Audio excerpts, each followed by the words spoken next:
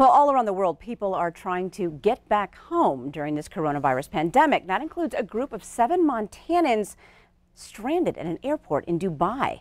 MTN's Cody Boyer has the story. For Eli Herman and his six friends, it was a trip to the Philippines and beyond before the coronavirus pandemic hit the United States.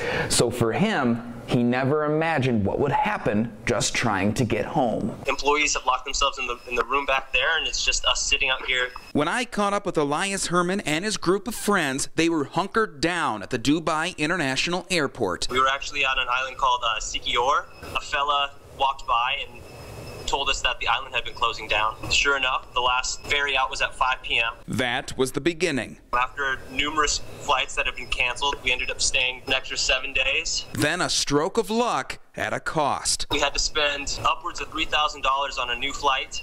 It was short lived. Herman says only minutes after they arrived, Dubai airport staff told them to follow them and give them their passports. It's kind of nerve wracking. I felt like or we felt like without our passports, there's no real claim to us being U.S. citizens, and that's something that we couldn't lose. Through his phone, Herman showed me a scene out of a nightmare. People sitting on, leaning up against the walls, taking out luggage that they have to make bedding. Out of nearly 300 people stranded, Herman says about 10 of them are Americans, including children. Yet, he says it's no one's fault. I don't blame them. It's not surprising in the sense that the entire time we've been trying to book a flight out, things have been flip flopping within the hour.